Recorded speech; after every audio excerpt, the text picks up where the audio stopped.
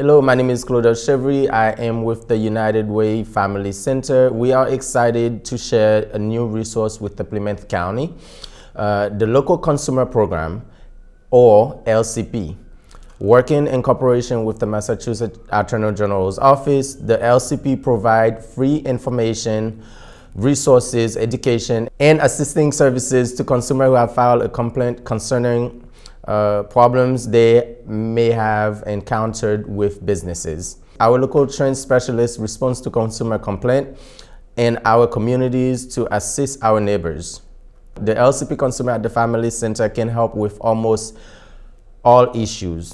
To name a few, car sale and financing, debt collection, utility bill dispute, and shut off unre unregulated uh, utilities. To access this resource, please call the consumer hotline at 617-727-8400, Monday through Friday, 8 a.m. to 4 p.m. To learn more about the United Way Family Center and Community Connection of Brockton, please visit us at www.uwgpc.org slash FRC. Thank you.